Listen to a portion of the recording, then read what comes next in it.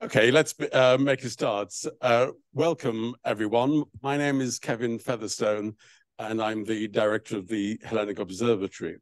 I'd like to welcome you all here, but also I know that there are uh, a number of people watching uh, online. And indeed, I'm told they're watching online from many different countries, possibly as far away as Australia. Uh, so we have uh, a lot of interest in tonight's event. Can I also say that tonight's event uh, will is being recorded, and we hope to make it available as a podcast for downloading uh, later. So many people are watching live. More people will watch uh, the podcast uh, later. We're here looking back 50 years to the Athens Polytechnia uprising when students confronted the junta. Let me say a few words by way of introduction. All nations create and sustain national stories, myths, if you like, that are shared and passed on. They bind nations together, creating a national identity. They're part of the answer to the question, when is a nation? Because a nation can only be said to exist when there is some sense of a shared history. Shared history uh, have symbols, myths, pictures, events as their reference points.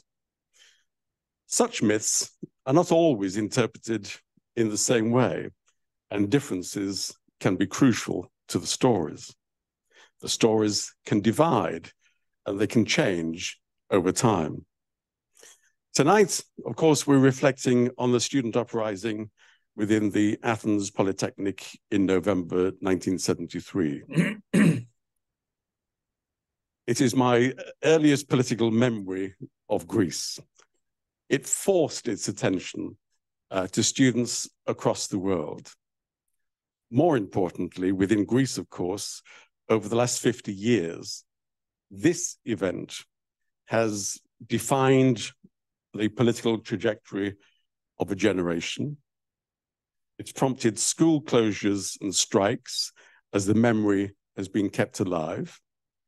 It's rallied protesters in annual parades uh, across Greece, not least marches to the uh, in Athens to the American embassy. But there are contrasts, of course, also. For many years, the Polytechnia uprising was canonized. Uh, but then, uh, in the economic crisis more recently, its legacy has at times been savagely attacked. The Polytechnia mobilized a generation. Today, we talk of political apathy. The Polytechnia was about democracy but it never was really linked to a specific political project. So we have contrasts.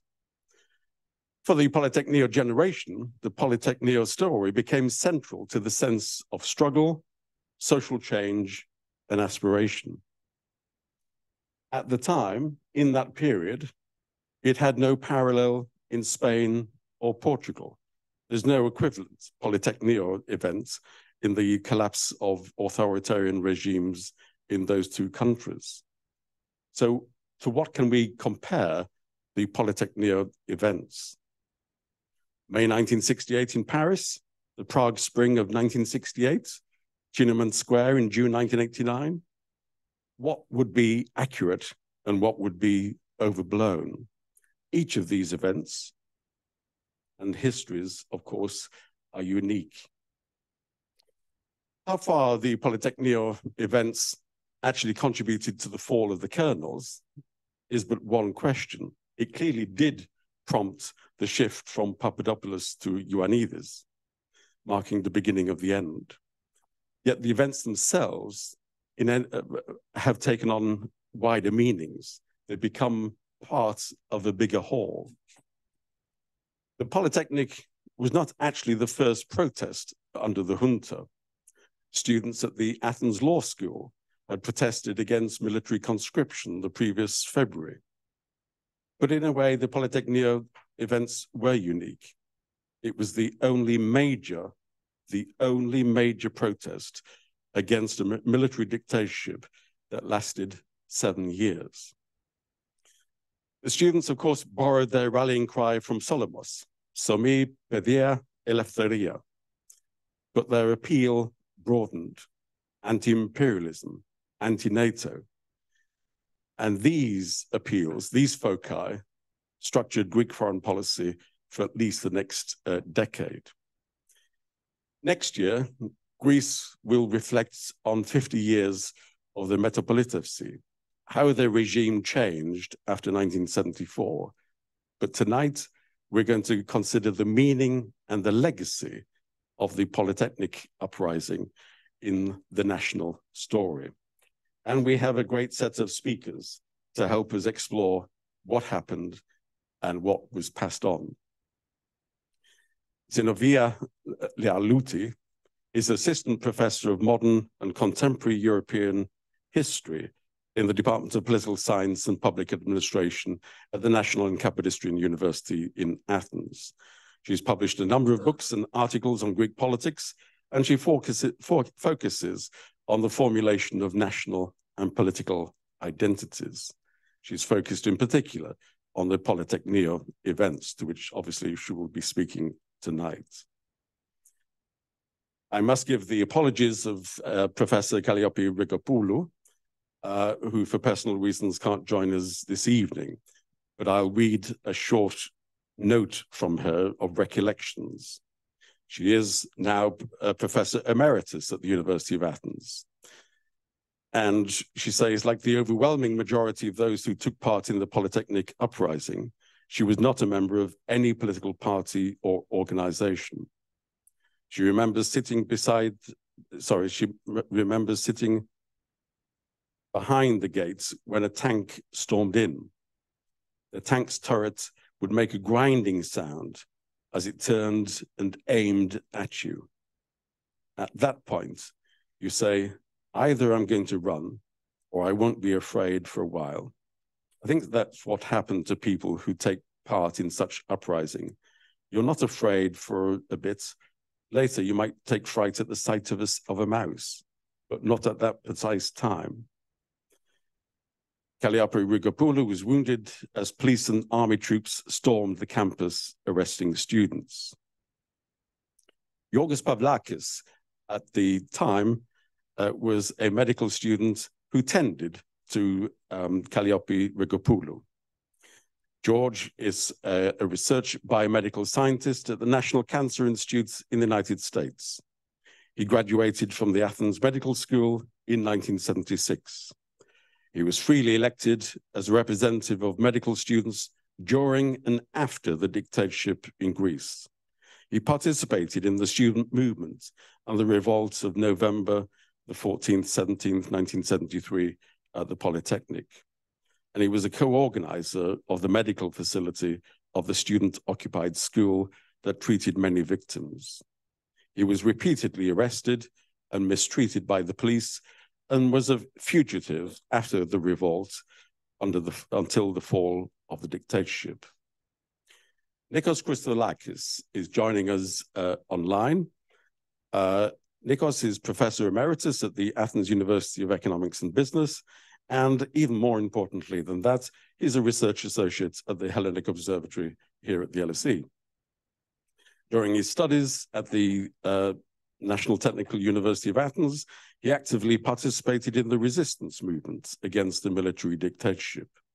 In the Polytechnic uprising in November 1973, he was in charge of the broadcasting station. After the fall of the dictatorship, he was chairman of the Students' Association from 74 75, and in 1976, he testified at the court martial uh, in Athens against the junta leaders. We have a marvelous panel, and I'm delighted that uh, they've been able to join us either here or online. In order to get things started, in order to help us to focus on the events and then talk about the legacy, we'd like now to, sh to show a very short video of the events.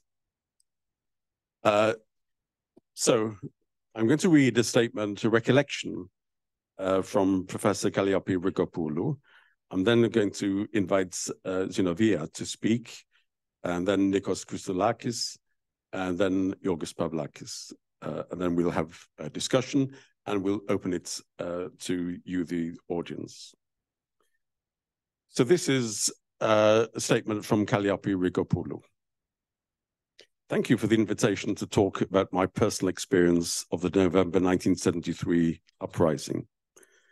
First of all, it's not easy to draw a clear line of demarcation between the personal and the collective. It's also not easy to isolate the Polytechnic experience either from the crucial Greek and international events that preceded or followed it, or from what was done and suffered by the crushing majority of the participants in the uprising, who were not in the precinct but around it, in the neighborhood, or even all around Athens and in other cities in Greece. I will try to isolate some comments. Uh, so, sorry, I will try to isolate some moments related to my experience as a participant witness of the events during the last night of the uprising, and also to the consequences of those events for me personally. The first of those moments occurred just a little before the tank broke through the gates and invaded the Polytechnic. As I stood behind the gates, I saw a student, later I learned that there were two, climbing the metal fence that separated us from the armed forces that encircled the school. He was holding a white flag. Indeed, it was his white shirt. And his aim, as he told me later, uh, was to negotiate the peaceful departure of all of us from the buildings. Although I have no precise information on the matter, I guess he was representing the coordinating committee of the occupation. I nowadays believe that this effort, coordinated or improvised, was well intended, but of course, it did not produce any positive results. Owing to the fact that those efforts for negotiations failed, the tank broke the gates I stood behind, opening the way to the armed invasion. It crashed two cars placed be behind the gates with all the following consequences. Many aspects of the operation still remain obscure to me. What was the objective of the action? The identity of those that issued the order? the intentions and the feelings of each one of those involved in the army, who later, after I had recovered from the hospital, gave rather unconvincing interviews and expressed the wish to meet me, something which I always declined. The inclusion of the picture and the narrative of the invasion of the tank remains a must for old and recent TV documentaries and a raw material for political rhetorics expressing various ideologies and objectives. The third point I would like to stress is the first medical care I received at the Polytechnic Infirmary and at the hospitals where I was a few hours later, transferred by people risking their lives to do so. I believe that those people performed miracles of capacity and courage. Besides my mother, who immediately became my guardian, my guardian angel, and other people, nursing staff, injured other persons, and their friends and relatives, they stood by me. One night, some of these people trans transported me to another floor of the hospital so that I could meet uh, Spiros Moustaklis. He was the army officer, the protagonist of a patriotic 1973 movement to overthrow the junta who, after the failure of this attempt, he became mute and almost paralyzed because of the monstrous tortures to which he was submitted. He, however, found the force to embrace me. Later on, after the re-establishment of democracy, I, thanks to the Greek Social Security Foundation, traveled twice to London to be examined by specialists for the treatment of bone fractures and to undergo 14 separate operations. It was then that Marion Sarafis, eminent Anglo-American archaeologist and historian, widow of the general in command of the uh, Elas uh, forces against the German occupation of World War II, gave me the following advice. We women suffer because we are valued on the basis of our family and social status or of the traumas that we have suffered. I urge you instead to try to obtain recognition because of what you do, what you did, and what you create. As a result of the 14 operations and of my firm decision to follow her advice, I recovered the possibility to walk and, when necessary, to run. Something which, among others, enabled me to take part in the demonstration of 1982 on the occupied soil of Cyprus, protesting against the Turkish invasion. And much more recently, after 2010, to take part in Athens against the predatory memoranda imposed upon the Greek people. Calliope uh, uh, recollections. As I say, we're going to have the recollections from Nikos Christoulakis and Yorgos Pavlakis in a moment, but uh, for an overview of the meaning, the significance, the legacy of the Poly Polytechnio Zinovia. Thank you very much. Uh,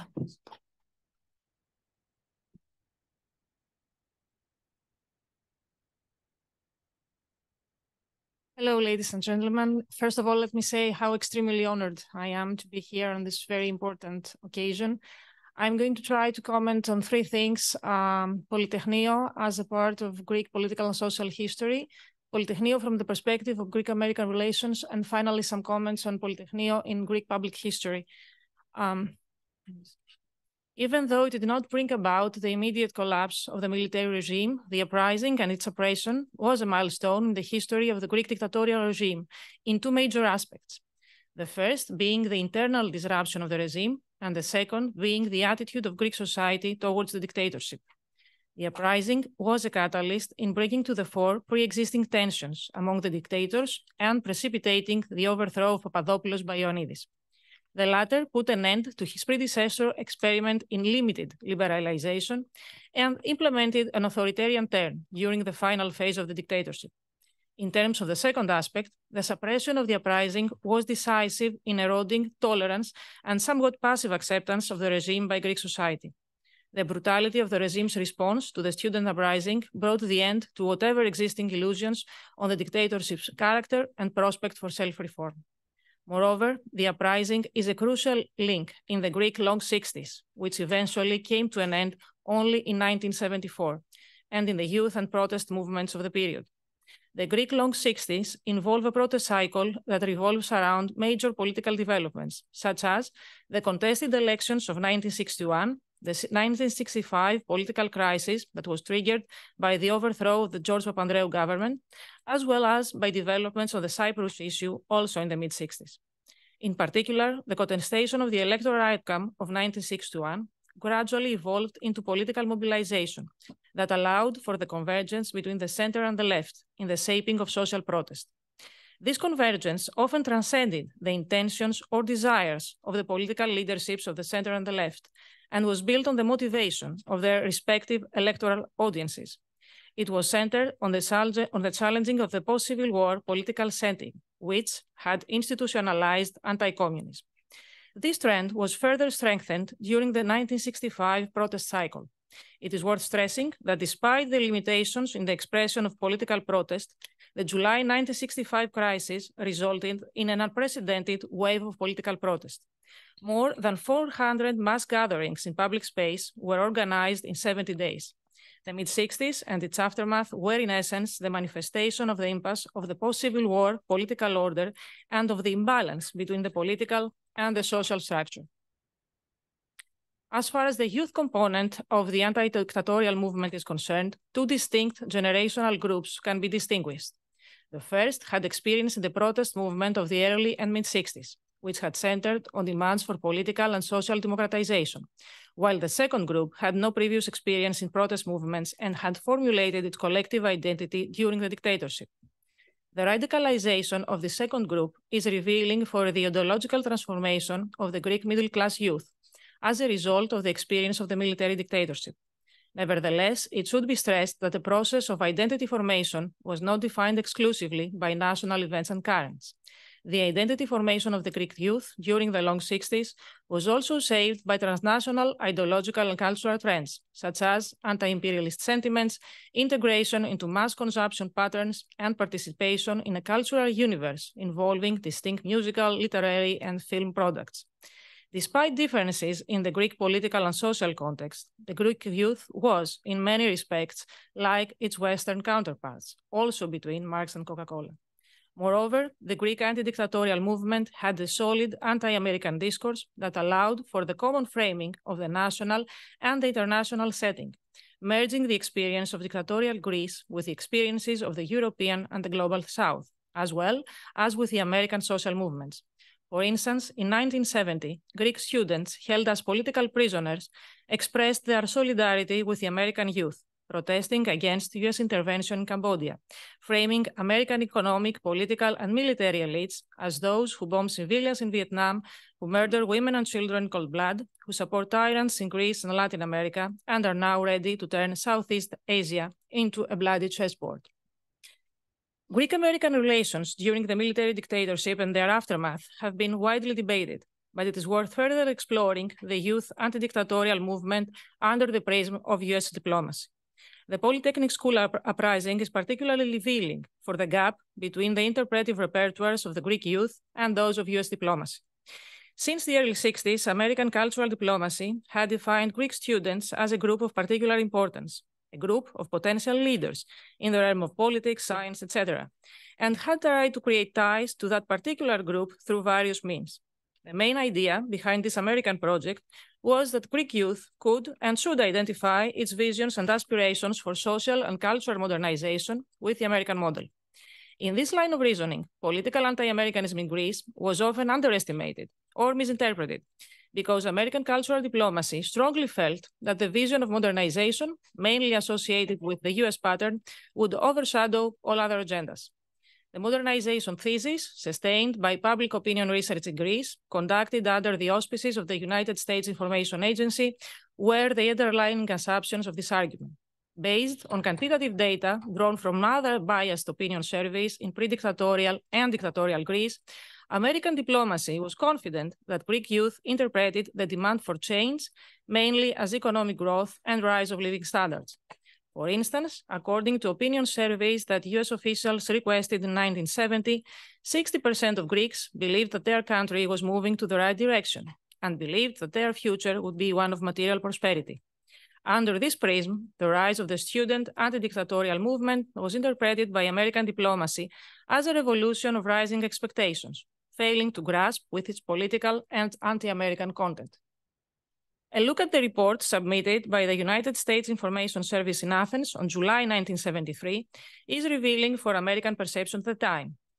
Quote, any statement by high-ranking US officials to the effect that Greece is a valuable piece of strategic territory and that the West therefore must continue to do business with the regime was invariably exploited by the press to depict the United States as a nation that has sold its democratic principles for the price of a naval base. What was then to be done? According to the report, the goal was to persuade a large number of present and potential Greek leaders, particularly the younger elements, that American society is continually evolving and that American cultural and intellectual life is suffused with vitality and the spirit of exploration. Young Greeks, like young people throughout the world, respond enthusiastically to innovation and novelty. Our efforts in this direction have taken the form of youth-oriented programs personal contact with youth continues to be extremely difficult. Greek students and other younger people are disinclined to associate with Americans or to patronize American programs because of our political identification with the present Greek government.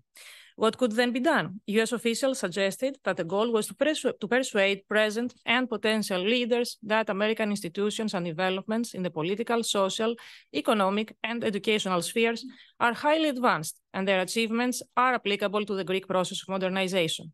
Making inroads into the non-political aspects of this area is not difficult. This is largely because of the existing hunger for knowledge. Thus, since 1974, American public diplomacy was faced with a paradox. The influence of American culture, economy, science was evident in post-authoritarian Greek society. Nevertheless, this did not prevent the rise of a middle-class anti-Americanism. apart from the mass demonstrations, which certainly attract more attention, the symbolic gesture of scientists returning their PhD diplomas from American universities to the US Embassy in Athens is also worth noticing. It was the symbolic proof that middle-class modernity could be compatible with anti-Americanism.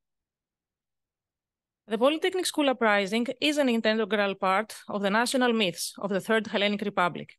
Regime change, after all, after the fall of dictatorship, necessitated a reinterpretation of the national past and national identity. A basic aspect of this process was the question of guilt or innocence of the Greek nation for the establishment of the military junta and for the Cyprus tragedy as well. Anti-Americanism had emerged as a powerful interpretive scheme, not only with reference to the military dictatorship, but also with reference to the entire post-war period and what has been called sickly democracy. An underlying metaphor in this anti-American discourse that sought to interpret Greece's post-war history was the metaphor of occupation, Occupation provided a link of continuity between Nazi occupation and US influence on post-Civil War Greece, which was perceived as a status of limited sovereignty. In this context, the Polytechnio was framed as a link in the chain of resistance episodes that made the history of the Greek people since the War of Independence. The first parliamentary elections of the post-authoritarian period were held on November 17, 1974, on the decision of Konstantinos Karamanlis. Andreas Papandreou at the time claimed that this decision disrespected the memory of the victims, while Karamanlis argued that the coincidence between the anniversary and the elections was the best commemoration service for those fallen in 1973. A week after the election, in the context of public commemoration, a, to, a march to the US Embassy took place setting the pattern for the ritual of the commemoration in the following years. Participants in that first march were estimated to 1 million people. The site of the US Embassy in Athens was designated as the destination of the march, which was both a commemorative and a protest event. This choice, followed by anti-American slogans such as Out with the Americans, Murderers of the Peoples, that dominated the march, mirrored the blame attribution process in Greek society since 1974.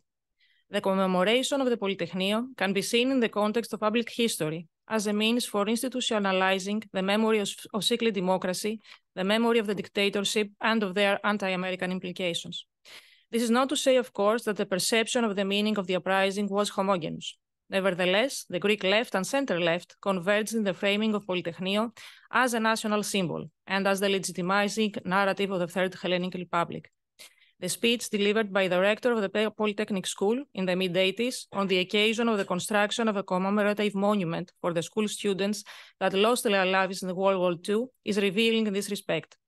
According to the rector, by attributing to the uprising of the Polytechnic School the historical gravity of the national resistance movement, we restore the unity, the continuity, and the consistency of the relentless struggles of the youth and of the Greek people throughout the entire historical period stretching from 1941 to 1974. Following the rise of PASOK to power in 1981, the commemoration of the uprising gained further prominence in the public agenda, in the interaction between public history and political communication. PASOK sought to sustain the historical continuity between the post-war center, the anti-dictatorial student movement, and the party of PASOK as a representative of the center-left. Andreas Papandreou became the first prime minister to lay earth on the site of the Polytechnic School, and since that year, 1981, the anniversary became a school holiday. During the economic crisis, the uprising and its anniversary was repoliticized following the cleavage between memorandum versus anti-memorandum parties. The center emphasized the national character of the anniversary, downplaying the external element dimension. Within the anti-memorandum camp, however, the uprising emerged as a present of resistance against the limitations democracy set by the austerity politics. The junta did not end in 1973 was the slogan that captured this mood. On the far right end of the political spectrum, the memory of Polytechnio is contested.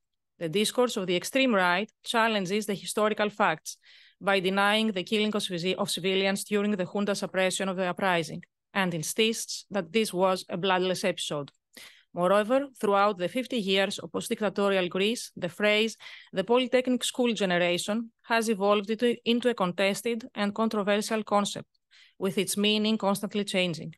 What does the phrase the Polytechnic School generation mean after all? It is used as a metonymy for parliamentary democracy itself, a mirror projecting its virtues and flaws. Last Sunday, newspaper To Vima published an opinion poll trying to capture perceptions of the uprising in Greek society today. 81% of respondents believe that the uprising contributed to the overthrow of the dictatorship, and 76% felt that the uprising expressed mass reaction against the regime rather than being a limited phenomenon. As far as the commemoration was concerned, 86% said that the anniversary should be acknowledged with laying wreaths at the Polytechnic School. 79% said that it should involve commemorative activities at schools, and 51% said that it should include the march towards the US Embassy. Finally, as I was leaving the law school building yesterday, the uprising was well alive in the students' memory practices and closely linked to their interpretive schemes of the international, geopolitical, and the national political setting. Thank you for your attention. Thank you very much. That gives us a very nice uh, context. Um, I'm hoping we can now invite Nikos Christodoulakis to uh, speak to us. Uh, can you hear us, Nico? I think you're on mute at the moment. Thank you very much uh, to everybody. First of all, uh, let me thank uh, the LSE and the Hellenic Observatory for uh, giving me this uh, opportunity to be with you and talk about the anniversary of uh, 50 years of the Polytechnic uprising. I feel very honored about that, and I think it's time for the uprising to be discussed outside Greece as well, as a major political event which uh, actually has transformed not only Greek politics, but uh, also Greek uh, perceptions about the role of students and about the concept of liberty and independence.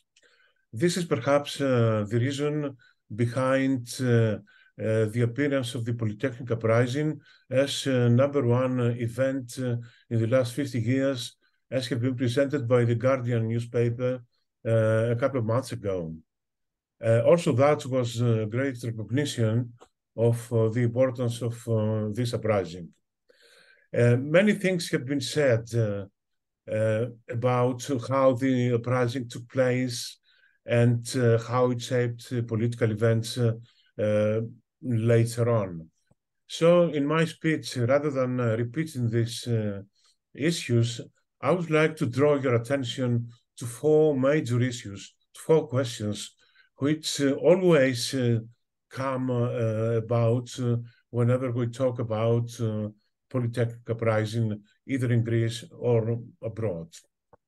Uh, the first and major question is whether the uprising was organized or spontaneous. Was it planned or sudden? Uh, my answer to that is that uh, it was a mix of those, a mix of everything, because uh, it's very important to understand that the atmosphere, the political atmosphere, uh, for quite a few months uh, before the uprising took place, was very revolutionary in a sense. it was very fluid in political terms and very promising and full of opportunities in in, in, in inviting uh, actions against the regime.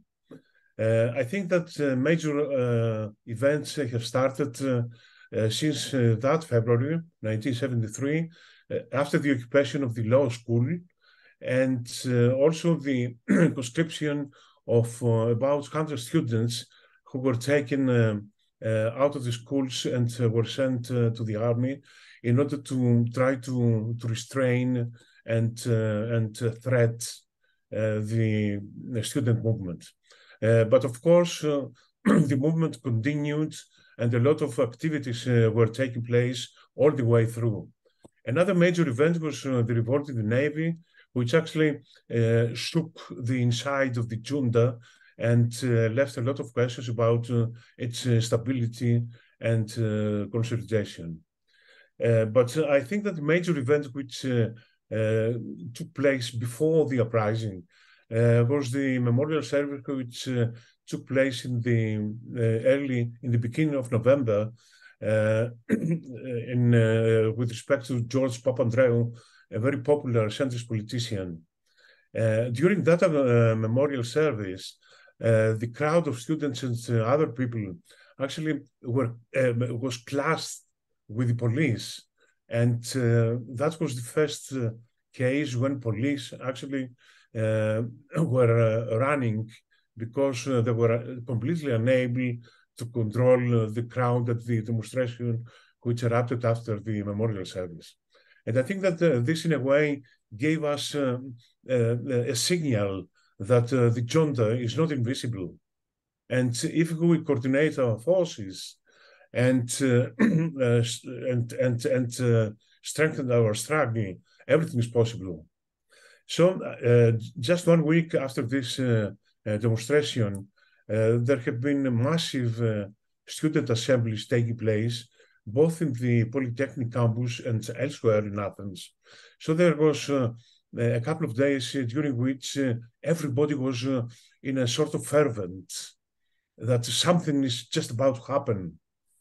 Uh, of course, uh, I have to say here that there has been no typical and formal decision about to implement an occupation in Polytechnic campus, but this somehow happened after a few hundred uh, students have arrived, uh, demonstrating through Athens uh, while student as assemblies were taking place. So in Wednesday nights, uh, we see that a lot of people participate also from the outside, and we get the feeling that something much more massive is possible to take place. And I think at that moment, we realized that uh, we are not just a student protest, but uh, we may be uh, in a position to transform it to a popular uprising. So uh, we get organized during that night, of course, with several uh, logistical problems, uh, some clashes between us, sometimes violence. But at at at the dawn of the next day, Thursday, I think we're in a position to control the campus and also to invite many more students to arrive here and take part with us in uh, the uprising. And at the same time, huge crowds actually gather outside the campus and uh, form uh, a massive popular demonstration against the junta. This is very important to understand because this is precisely what made this uprising unique and uh, determined its uh, character in the next couple of days. Now uh, I come to the second issue, which is the content, the character, the targets of the uprising. Well, I, I think above all it goes against the junta. Uh, the main uh, uh, demand of students and the people alike was down with junta.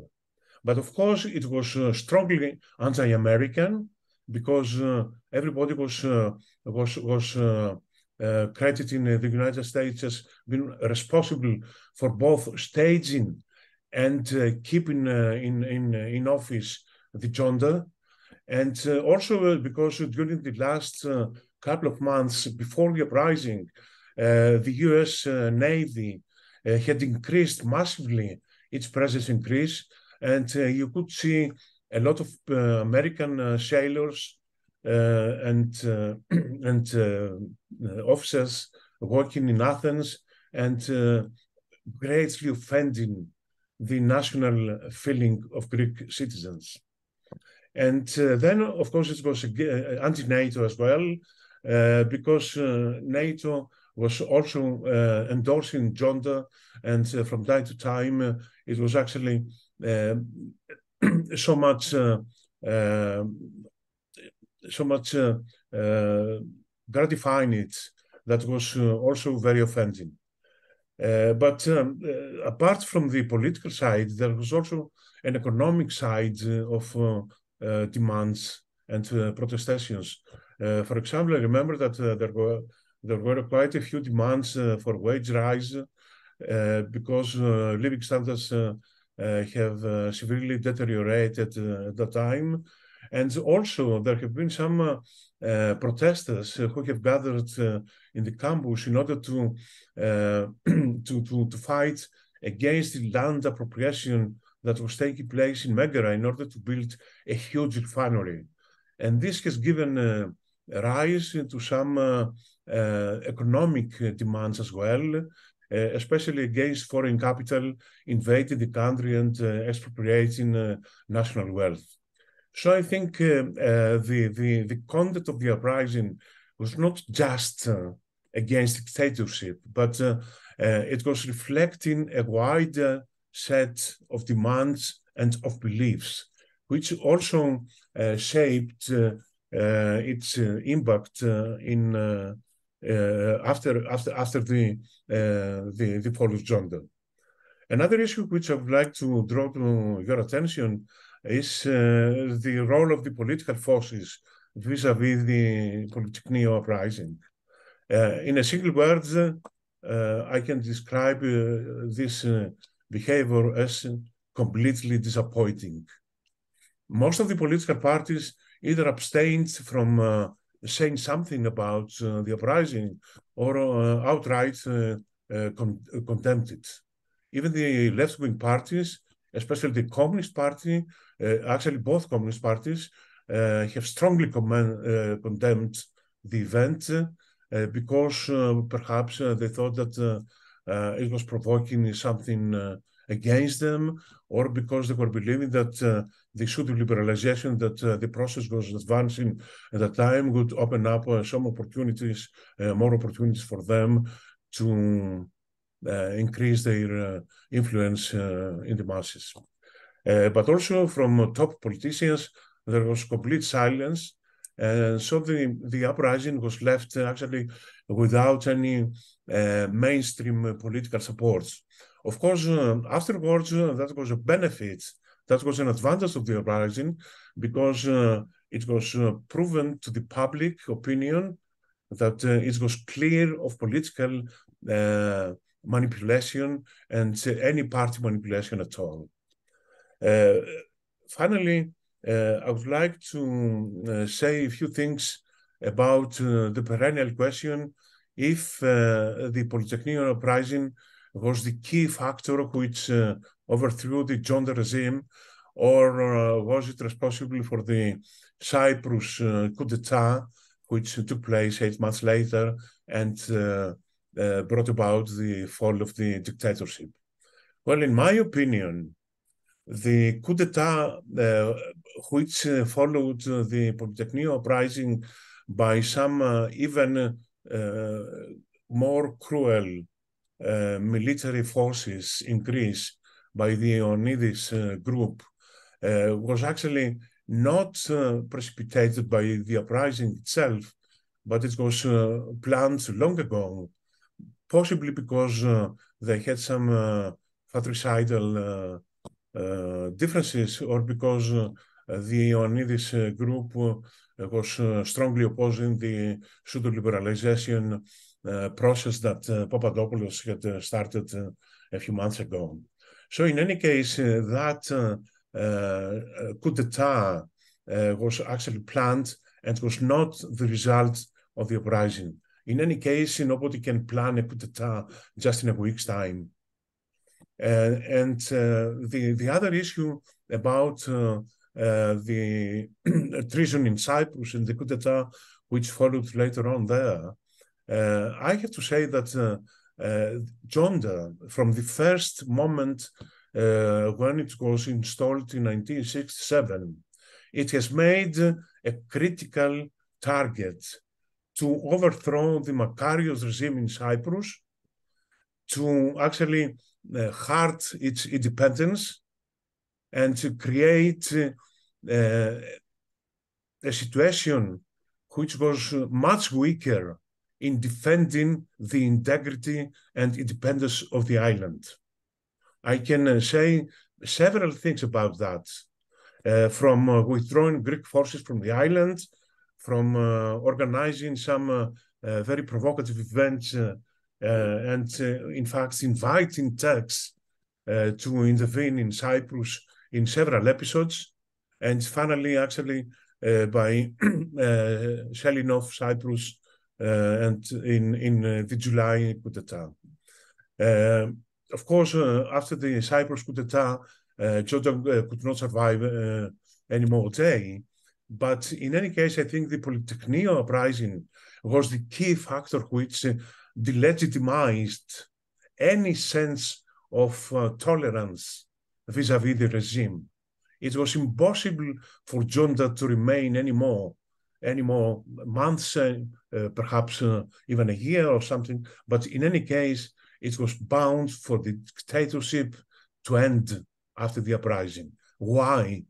Because of so many killings, of so many uh, inhuman uh, killings of uh, young people who were defenseless against the armored tanks of the junta. Just remember that uh, not even the during the uh, not even during the Nazi occupation of Greece was even used armored vehicles against uh, unarmed people. And I think that uh, this showed the cruelty of the uh, of the of the regime and uh, the unbearability in political terms. So I think in a way, Polytechnio uprising actually signed the end of junta one way or another. Thank you very much. Thank you, Nico.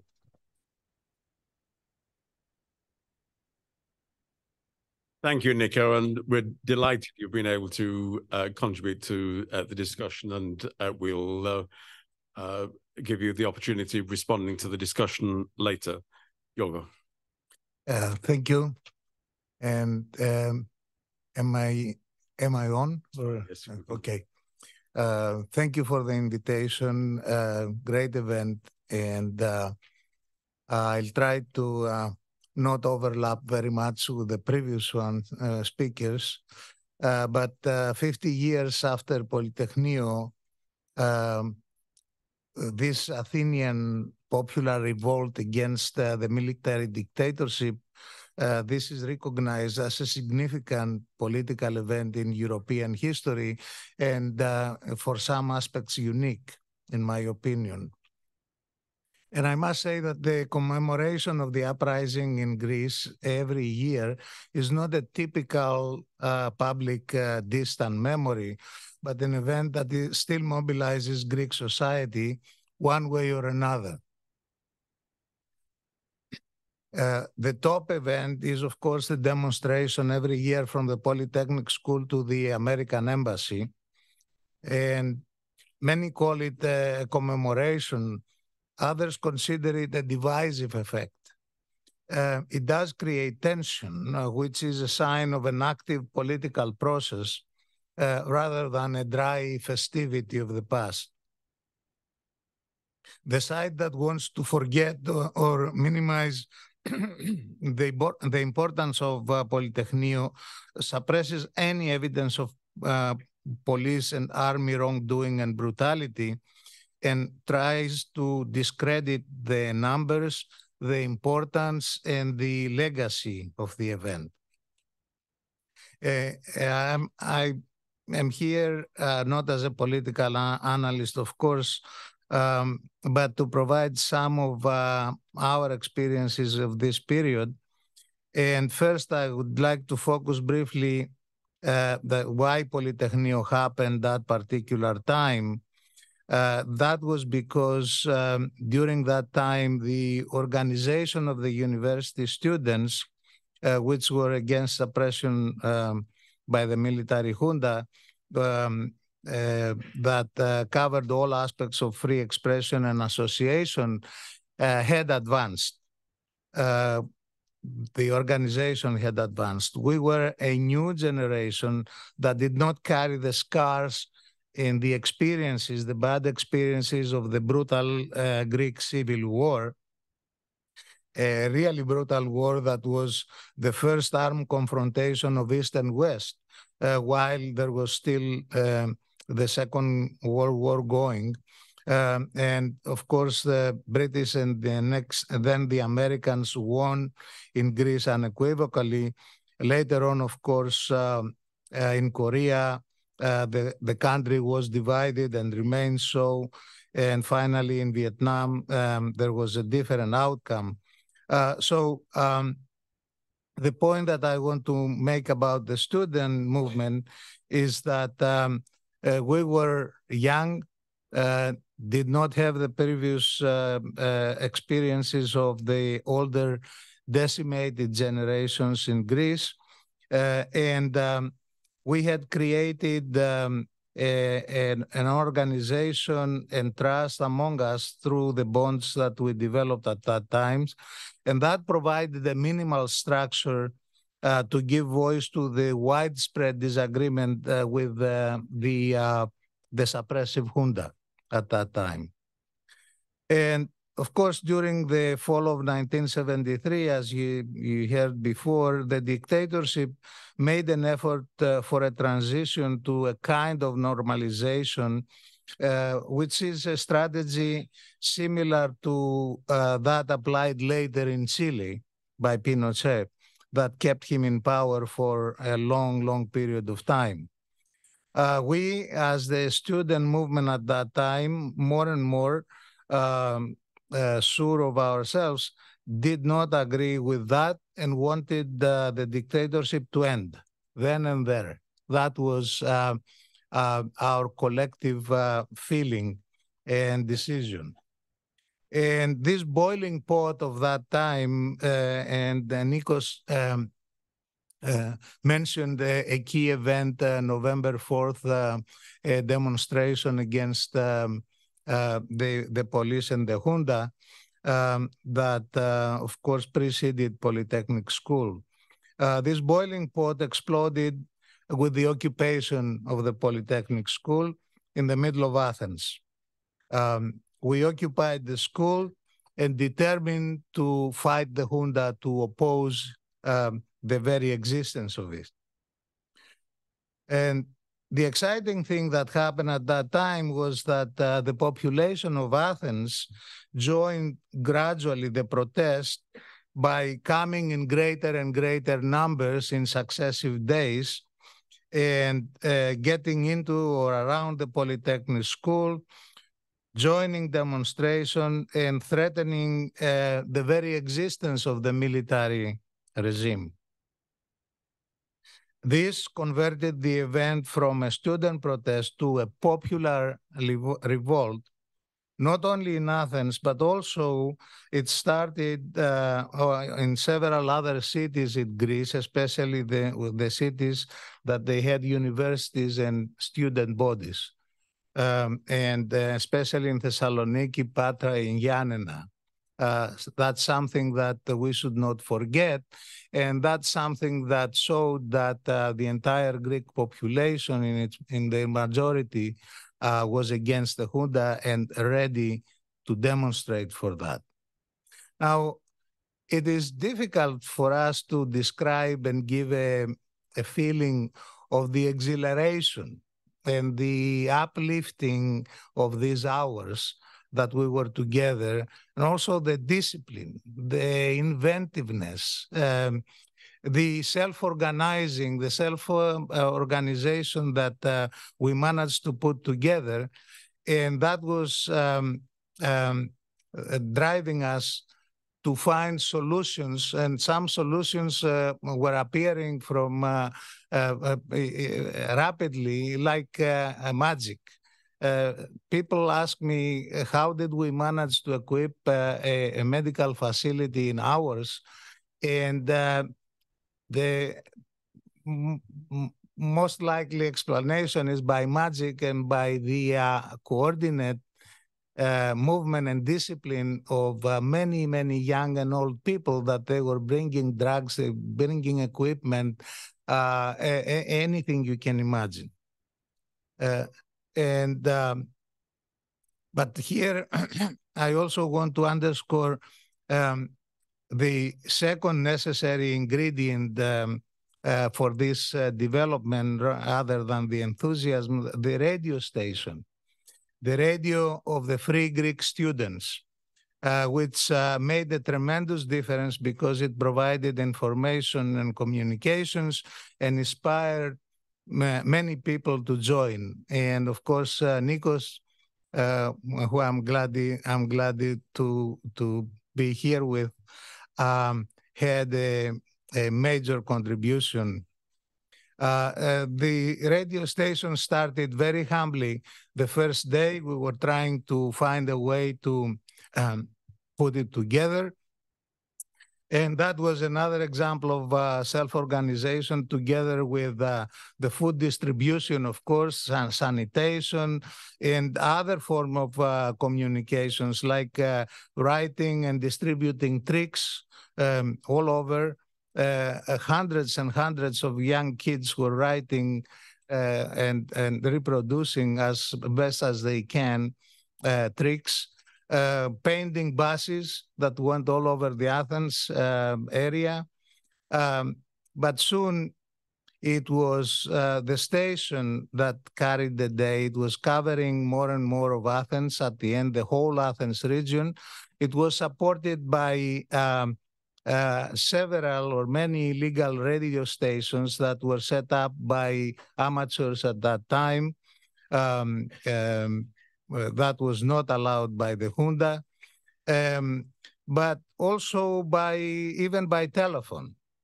And it went uh, throughout the world, as we know, uh, as far as Australia, um, to Greeks, mainly Greeks all over the world.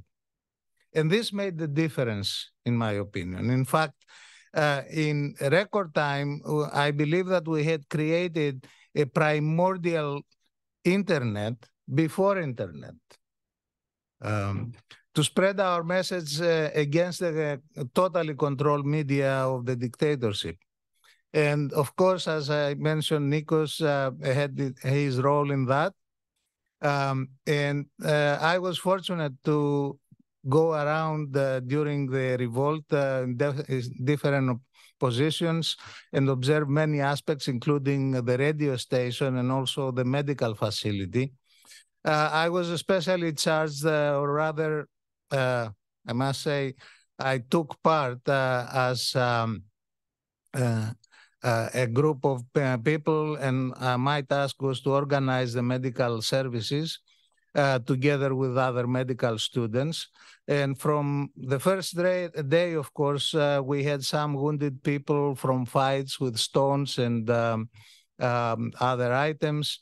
And it was necessary, obviously, uh, to, um, with more than a thousand people in the area, in the occupied school, um, that later became several thousand to organize uh, medical care. Uh, but uh, really nothing, nothing prepared us uh, to predict uh, the brutality of the police and the army that Friday night that uh, they started to shoot to kill. Um, and as uh, Nikos mentioned, that uh, hardly happened anywhere in Europe, even in during German occupation. We do not have examples of um, armored vehicles and tanks shooting to kill with with um, uh, uh, uh, you know, huge guns. In Greece. In the middle of Athens, in, in Greece. Greece, yes. Yeah, of course, there are other places that this happened, but that doesn't make it less problematic and painful. Um, so, um, and uh, one of the, uh, to mention that one of the last severely wounded persons we took care in the makeshift um, um, medical facility was Pepe Rigopoulou. You heard her statement. She suffered for a long time. Uh, actually, uh, I thought um, uh, that uh, she was probably dead. Um, she was very severely wounded. Her uh, legs were in very bad shape. Uh, and during my long times um, underground, um, after um, the Polytechnic events, uh, uh, that was a, a, heavy load on, on my psyche. Uh, now, ending, I want to say that um, unfortunately, the English literature in the subject of the Polytechnic uprising uh, and what exactly happened, especially uh, the underscoring of uh, police and army brutality, um, is very poor, the, the English uh, uh, literature. But even the Greek studies were lagging. And um, I think it's very fortunate that um, several new Greek publications, um, and I have some of them that came out days ago that um, I read again uh, by friends, uh, that um, uh, they describe much, much better what happened and agree, I believe, with the, the picture that we try to, to paint here. We know of 24 officially dead, but uh, the, it's commonly accepted that there are several and many more. And actually, uh, it's very um, fortunate and pure luck, I think, that the, the number of dead is not uh, much, much higher because of the kind of the wounds uh, that uh, they happen. We know of more than 1,300 wounded, many by military uh, guns. Um, and uh, the majority are not students. Actually, a recent study says that probably 60% approximately, they were not students. They were uh, uh, workers and clerks and housewives and uh, even kids that went out to the balcony and got shot. Um, so just a couple of words for the aftermath. Uh, I think that um, uh, the events during the Athenian revolt uh, became part of the founding myth of the new Greek Republic, now 49 uh, years old. And um, it has, of course, a very long period of peace and relative prosperity despite the multiple problems. Uh, so overall, uh, a good development. But um, after the fall of uh, the junta, Poly- Polytechnio uh, functioned as a, a, cathartic ritual where everybody participated, at least in their mind, some fighting the police and the army in the streets, but most of the millions of the Greeks uh, participated, at least emotionally, and the radio station is a big, big part of this. Uh, but even this emotional participation just uh, made the junta um, not tolerable anymore. The that was the beginning of the end. And and you heard Nikos. I'm not going to repeat. I agree with everything he said. Uh, junta finished with the tragedy of Cyprus, that is still um, to be uh, uh, arranged, completed, uh, finalized. I don't know how. Uh, but the change of the government removed the army from power, but the overall system remained pretty much the same at the beginning. Most junta supporters uh, were protected initially or avoided prosecution, and many kept their positions. So um, the lack of this completion of a true uh, rapid democratic transition that happened much longer, much later, uh, the, this lack of catharsis uh, haunted the Greek political system for a while. Uh, and the Polytechnio experience still colors some aspects of uh, life in Greece, I believe, especially the situation at the universities uh, that uh, feel the legacy of these events uh, much more intensely. I believe, uh, though, that this 50 year mark is probably a turning point. New generations are coming along um, that have not a real association with these events. the Greece of that time does not exist anymore. Uh, and I hope that uh, the Greeks uh, find a way finally to move on from the traumas and the, diversi- the, the divisiveness of the past. Thank you, George.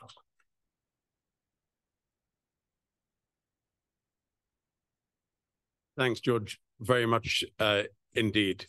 Um, I know we're tight for time. I'm going to ask a few uh, questions which our speakers uh, may wish to uh, take up.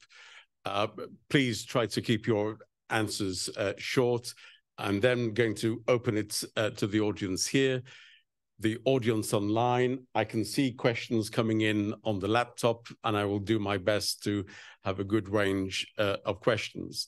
So let's begin the questions, but please short answers. And uh, with your permission, we may go beyond uh, the designated time of uh, eight o'clock. Um, a quick question, uh, please, to uh, both to George and Nikos.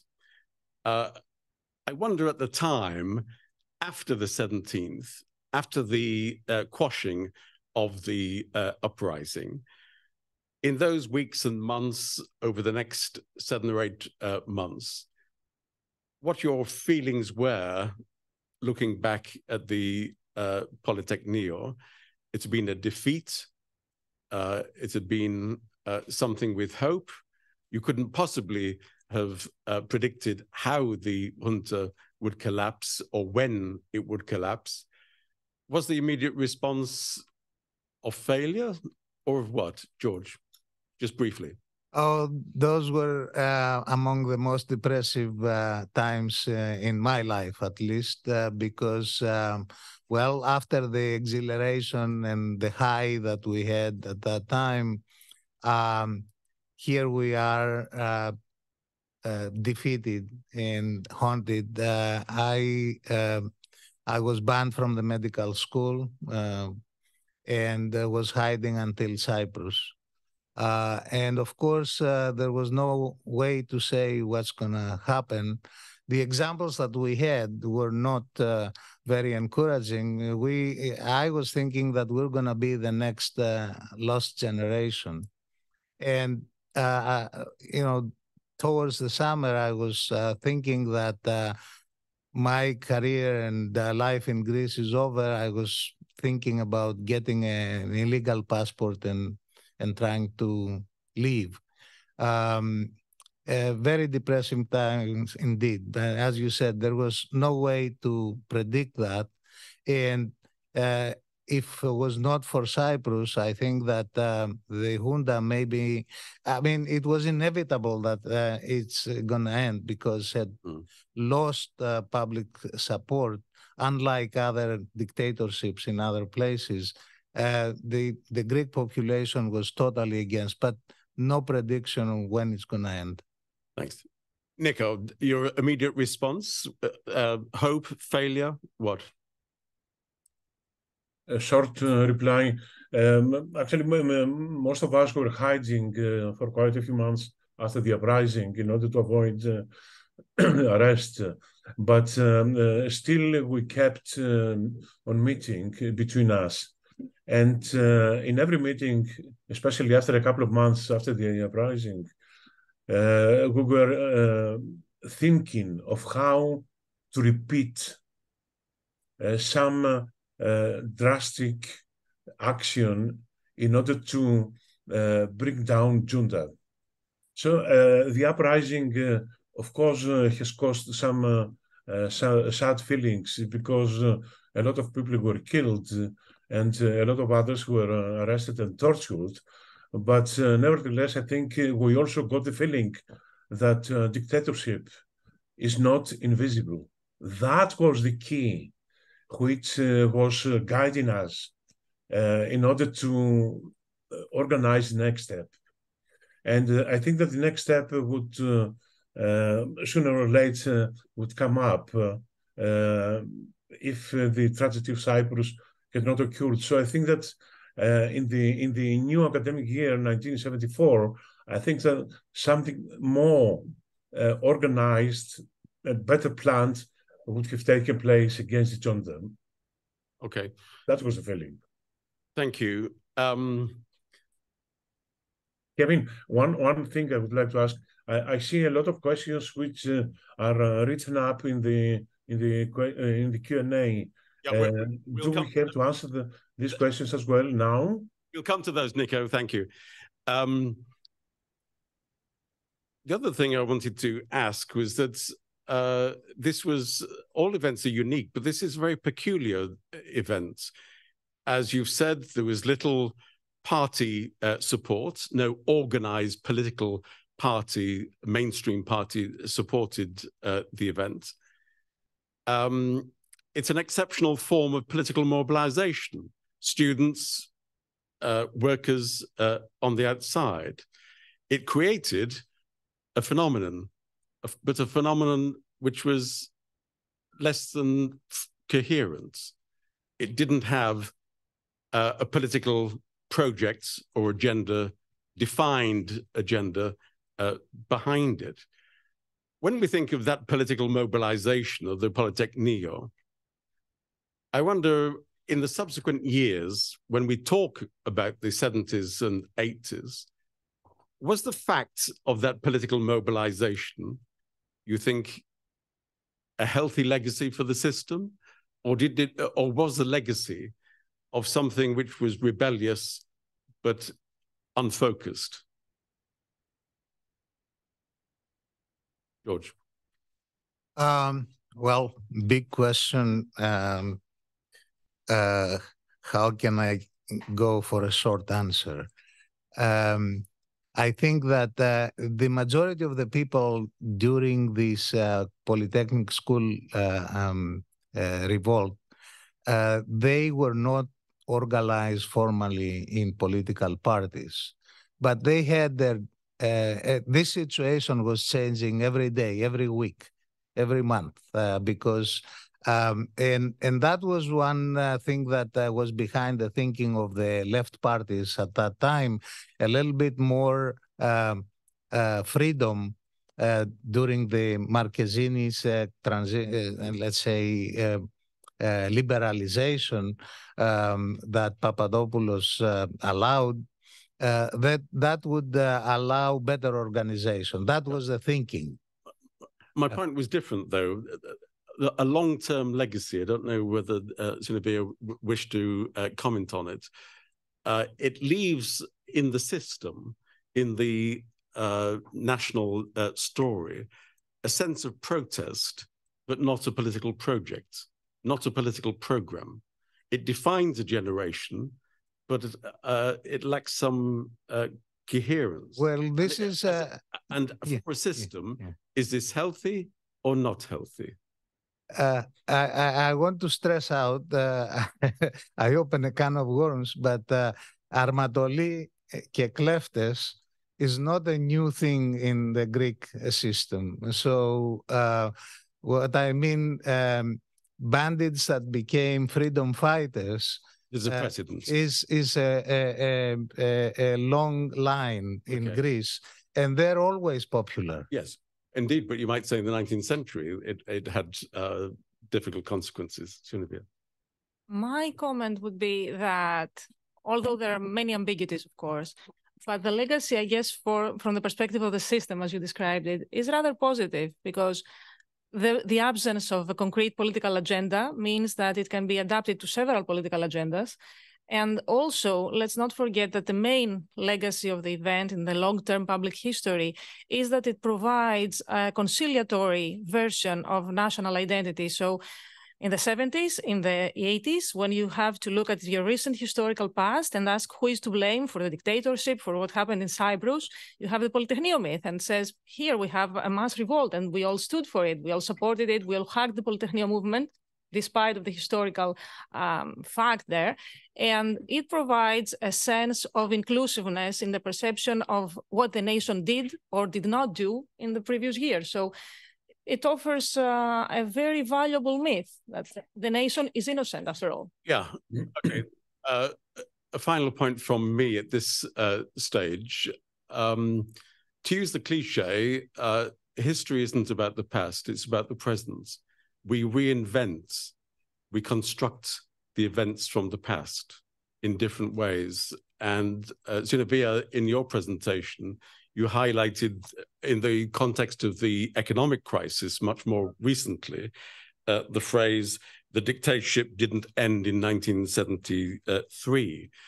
So the, the cleavage, the division of the Polytechnio became overlaid with pro or anti memorandum in the context of the economic crisis.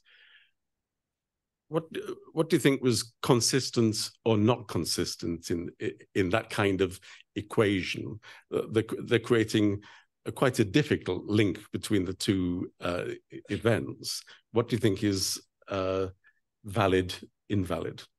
Well, we can never say you know, the characterization valid or invalid is not helpful. I mean, people in different time periods choose uh, the way they frame the past, the way that they select versions of the past to interpret what is happening to them in present time.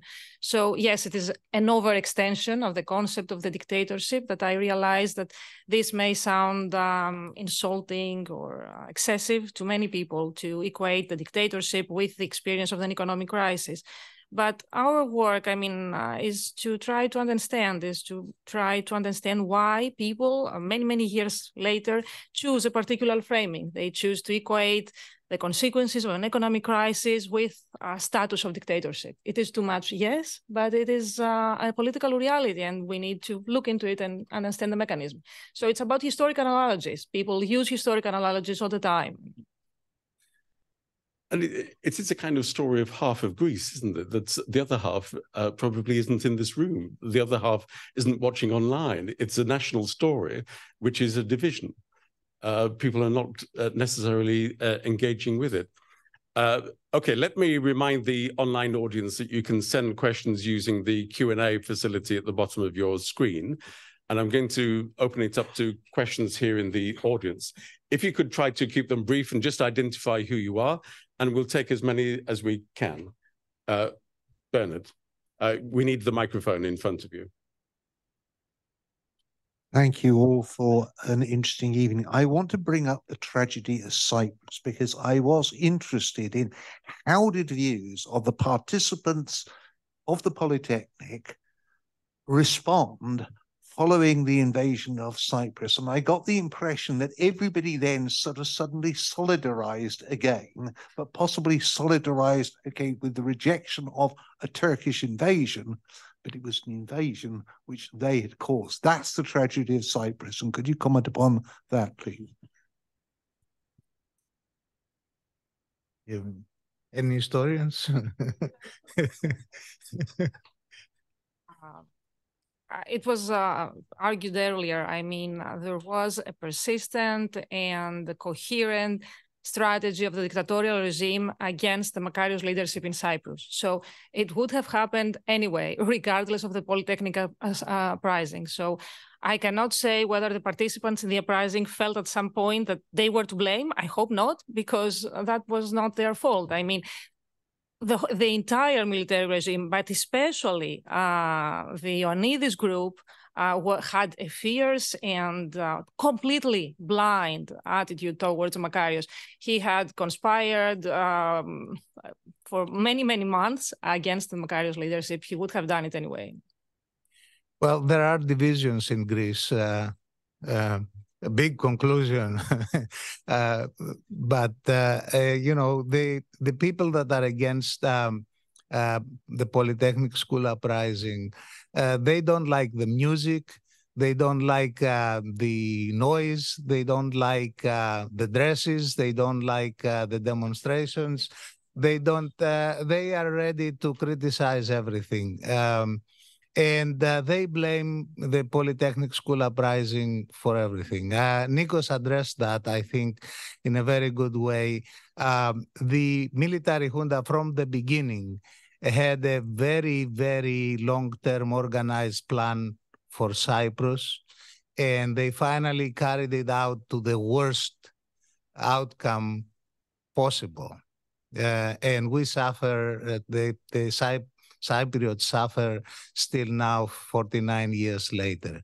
So um, that was uh, a plan, uh, and we cannot ignore uh, this reality. Uh, to blame Polytechnic School, to blame the people that wanted freedom and their democratic uh, rights uh, because they complained, it is a travesty. Okay, could I ask a question that is coming online uh, Professor Dimitris Sotiropoulos. Um, a question for Nikos and uh, Yorgos. You marvelously managed during the uprising to overcome divisions among student groups and forge unity. Nowadays, unfortunately, the commemorations of the uprising, particularly during the annual rally in Athens, are deflected to violent political activism by very small marginal political groups. Is there a hope and a strategy to rescue the commemoration of the uprising from such groups? Nope, it's um, it's part of the uh, ecosystem. Uh, they've been in, in, the ecosystem in many places in, in, in Europe and throughout the world. Um, sometimes good ideas come out of um, uh, unlikely places. I am against this type of violence. I'm against uh, the the the chaos and and dirtiness and um, etc., etc. In, in in Greek universities. I say that, uh, and Kevin, I hope you remember it for a long time uh, uh, that uh, we have to have more discipline in Greece, uh, and uh, but. Um, you know, we have to accept that as part of the ecosystem, and I I think that the police and the, and the state uh, could have a little better um, uh, management on that. I think um, events are exaggerated or to just discredit the mainstream. Okay. Nico, can I bring you in on this uh, question? Yeah. Uh, in, in a few words, uh, I think that uh, this situation is a disgrace, both for Greek universities uh, university staff uh, and uh, the Polytechnic uprising as well. I think actually it is a, a very well organized defamation technique because the methods which are used by the marginalized groups, anarchists, and other troublemakers are in complete antithesis of the ethics which prevailed in the Polytechnic uprising. Uh, I think that uh, we avoided violence completely during the junta, and uh, there, there is no place for violence in the democratic era. Uh, I think that uh, myself has very frequently opposed this violence, and when I was director, I remember that I didn't dare to um, to to to tolerate such things. But uh, actually, I uh, I invited uh, the police to clean up the situation. So I think that there must be no tolerance at all against this disgraceful behavior in the universities because it's not in pursuit of freedom, but it is in pursuit of destroying university liberties and uh, the rights especially of the poorer uh, of the of the poorest people and students to acquire uh, a level of education which is going to be essential in their lives and careers. Uh, I think uh, there is a, malign alliance between a group of professors who have actually collaborated with Junta, who were very, very, very prompt to tolerate violence by um, troublemakers.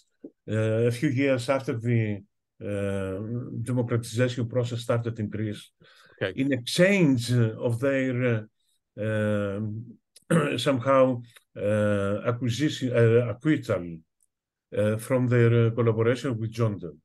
Okay. So I think that this style, this this environment which prevailed in the universities uh, should be strongly condemned. Yep. Uh, first by us, who took part in the Polytechnic uprising, but also by every student and every professor, because otherwise the future of uh, universities is going to be undermined. Okay, thanks, Nick. This is going to be detrimental, above all, to the people who want to, to make them benefit from higher education. Yeah. Okay, thanks, Nico. There is a, another question specifically uh, for you, if I may. This is uh, from Professor Dimitris Papadimitriou. Uh, I think this is the first time I've ever heard you speak about the Polytechnio uh, events. Why, over the course of your life in politics, have you apparently found it so difficult to speak about the events of 1973 in public? You're you're on mute. Seems to be adding to the question. You're on mute. Uh, two things I have to say to my friend uh, Dimitris Papadimitriou. Uh, first of all, I hope that uh, I have not spent uh, most of my time in politics, but in academics. So it was only about a third of my life in politics. Second, that uh, I have uh, frequently spoken about that in Greece and also abroad. I have given speeches in France, Italy, and also in UK sometimes. Here at uh, LSE, I remember when I was a student in Cambridge University, I was also invited uh, in some other uh, uh, cities in UK, but I, I, was never invited in Manchester to give a public lecture on that. So, okay. in case that Dimitris is willing to do that, I promise that I will positively respond to that that would be very courageous of you, given the weather in Manchester. Uh, let's take some questions from uh, here. Uh, Manoli at the very back, but if you could just uh, uh, thank you. Identify yourself. Manolis Galenianos uh, at the University of London. this is a question, I think, mostly for Nikos Christodoulakis. Um, so you mentioned that um, you did not receive any support from um, uh, polit politicians, uh, so pre-junta politicians. I was wondering, uh, did you want their support? Did you try to elicit their support, or did you reject them? Did you not care to have their support? Okay, I, think that this is a very, very crucial, very tricky question. Thank you very much for for for saying that. First of all, we offered some type of support by some politicians. For example, by uh, Mr. Kanellopoulos, who was the last prime minister of Greece before uh, Junta, but uh, it was actually uh, not accepted. And uh, also, we had an offer by Konstantin Karamanlis at that time to speak uh, from our radio station, but also that was turned down. Uh, there was a big fight in the coordinating committee uh, whether we shall uh, appeal to the three figure politicians, Karamanlis, Mavros, and Iliou, representing the Conservative Party, the Center Party, and the Left Wing Party, in order to support our uprising and take initiatives. But after a very a very bitter discussion in the committee that was also rejected. Uh, so uh, we thought that uh, if they wanted to support us, they could do it by themselves without uh, us to appeal to them. Uh, at the end, I think that this turned out to be an advantage because we could claim later on, and that became clear to everybody, that our uprising did not have any partisan motivation or any partisan um, participation. I think that the, the strangest of all things was uh, the lack of uh, support by the communist parties, both communist parties. Uh, perhaps they were too much afraid that something would happen against them. Uh, uh, after after a number of years, I have thought a lot about that. Perhaps uh, there were such a short period after the civil war after only 24 years have passed since the end of the civil war, uh, during which the Communist Party was heavily defeated, and perhaps they were fearing that uh, a new uh, period of uh, of, of um, miscomfort and uh, uh, chase and pogroms may may follow.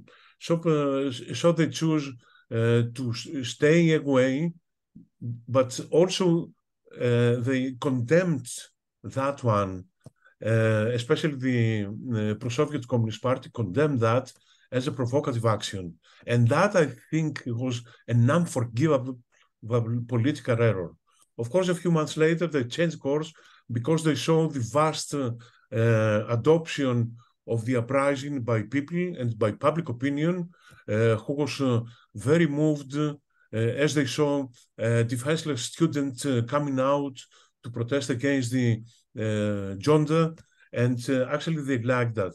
But anyway, at that time, I don't think that the political support by uh, mainstream political parties would have uh, made uh, any change to the immediate impact of the uprising. Okay. Um, and that actually helped us uh, to keep our identity uh, more clear And uh, I think that this uh, convinced more people to espouse uh, our ideas and uh, beliefs. Okay, thanks. We could simply note that the uh, Communist Party in France did not support the protests in May 1968, for example. Anyway, uh, Vasily. I think there's a separate microphone. Uh, uh thank you. A, bit of open question for, for, for the panel.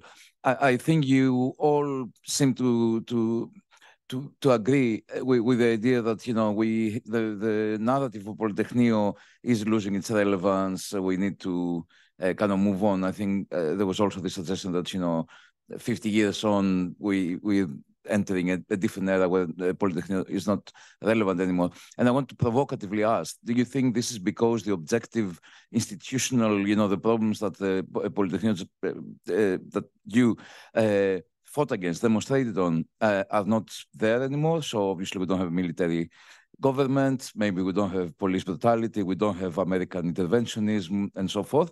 Or is it that the, the, the mindset and the aspirations of the people, so uh, if you want, the individual objective conditions have changed and they're not, so these demands are not popular anymore. So to, to use the, the very nice reference that uh, Zinovia had, uh, is it that Marx became irrelevant or that Coca-Cola won? well, yeah, do you want to? Yeah. yeah. Thank you. Um, there is this uh, phrase uh, describing, you know, the role of historical memories and says that we have hot and cold historical memories. So when uh, crucial events like Polytechneio becomes a sort of cold memory, it's a good thing. It's a good thing that we don't have uh, a recent dictatorship or such an experience to relate to. Uh, on the other hand, I would say that the Polytechneio uh, memory is still very much alive. I mean, I sit with my students. It's really amazing how it captures their political imagination, of course, in very different terms than the previous generations, but it is a very important narrative to them. And uh, they build their identity, they build their political presence, their uh, sense of debate around that myth. And I think that is very important. And you don't have that with other historical events. So I'm not, I don't see it losing its importance. And it's also very impressive that now with the 50 year anniversary, we had a series of publications, very good publications, bringing new elements uh, to light and this is also very relieving. And, uh, and I agree with uh, a remark made by Iasonas Chandrinos, and he said, there is still a lot that we do not know about the events of Polytechnia, and there is still a lot to research. Okay, thanks. Well, I think that's a very good point to uh, to close on, if, uh, forgive me. However, uh, we're very pleased to invite you to a wine reception outside, and I'm sure uh, George and uh, would be happy to continue uh, the discussion. Unfortunately, Nico, uh, we cannot invite you to the wine reception uh, next door, but we're very, very pleased you've been able to join us. And uh, can you can I ask the audience to please uh, thank each of our speakers?